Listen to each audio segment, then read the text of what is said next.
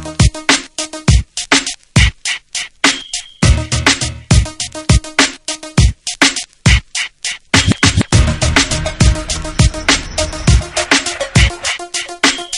ਸਾਥੋਂ ਮੰਗਦੀ ਏ ਕੰਨਾਂ ਵਾਲੇ ਝੁਮਕੇ ਤੇ